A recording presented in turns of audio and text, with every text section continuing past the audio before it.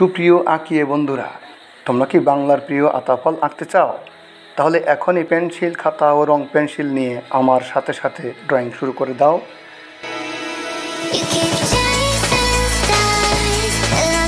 প্রথমে বাম থেকে ডান দিক বরাবর লম্বা করে একটি ওভাল বা উপবৃত্ত আঁকি। উক্ত উপবৃত্তের নিচে সংলগ্ন অবস্থায় আরেকটি ছোট অর্ধ উপবৃত্ত আঁকি এবং উপবৃত্ত দুটির বাম ও ডান দিকের সংলগ্ন স্থানে হালকা বক্ররেখা দ্বারা লাগিয়ে দিই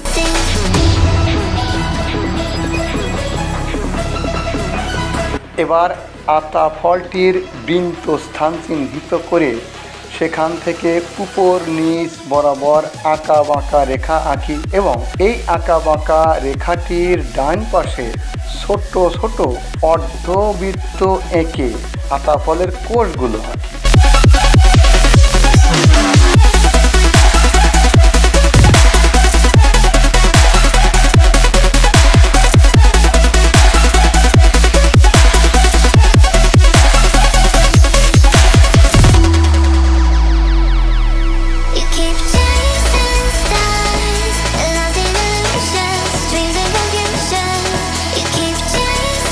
stars.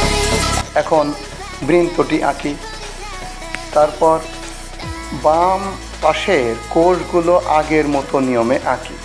আঁকানো হয়ে গেল ফলটির সবগুলো কোষ।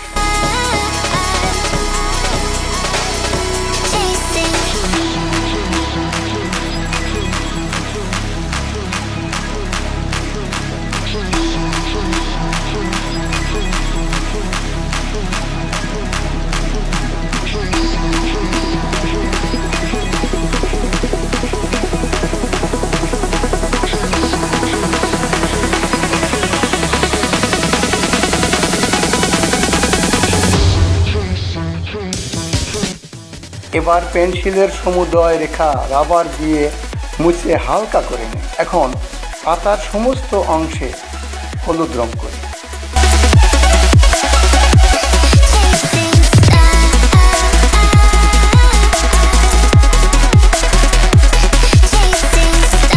তারপর কালো রং দ্বারা কোষগুলোর শুধুমাত্র এক পাশে গাঢ় রং করে আঁকি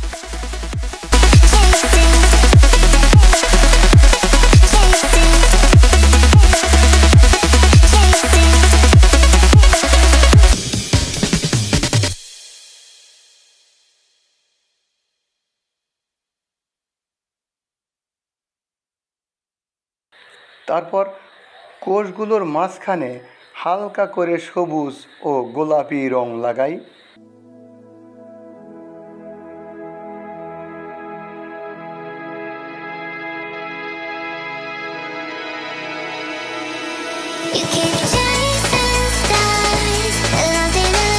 এবার বৃন্তটি কয়েকটি রঙের মিশ্রণে রং করি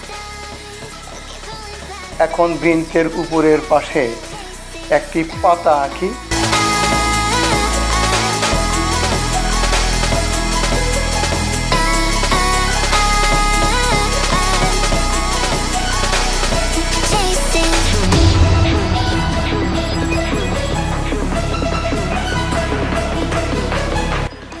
দেখো তো কেমন লাগছে তোমার আঁকানো পাতা ফলটিকে?